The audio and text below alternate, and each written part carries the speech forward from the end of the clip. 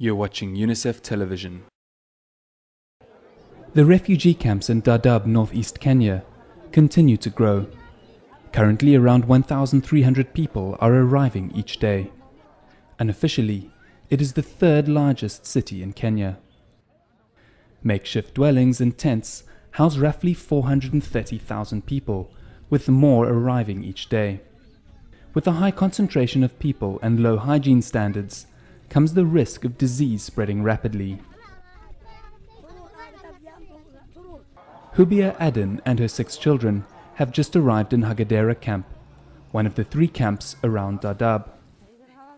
Having walked for 21 days from Kibuyu in northern Somalia, they begin the registration process. Hubia receives an initial food ration for three weeks, along with basic supplies and shelter.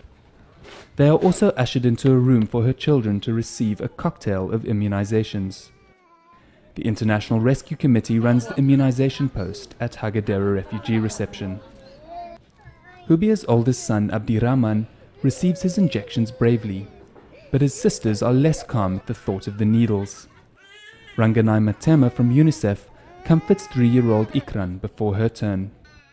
In addition to protection from polio, measles, and diphtheria, any children under a year old also receive a new pneumococcal vaccine, which means nine month old Mohammed must endure one more prick of the needle than his siblings.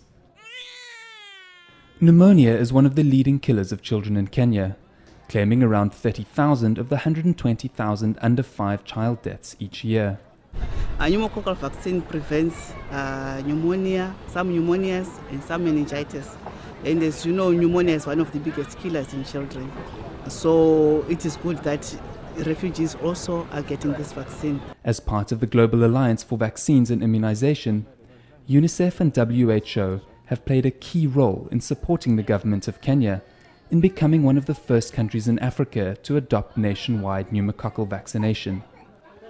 The program was launched in February 2011 and recently expanded in response to the humanitarian crisis in Dadaab. Hubia is uncertain of what the next few weeks will bring, where they will sleep tonight, and whether her children will receive education. But she understands that her children's immunization is an important first step in beginning her new life in the camp. There were no hospitals in Somalia, and my children were not vaccinated. I understand it's important because I was immunized as a child. This will help my children to not get sick. With a new dress and the promise of food, Ikran has all but forgotten her vaccination. Hubia hopes that her husband will join them soon, as the burden of looking after six children unassisted is high.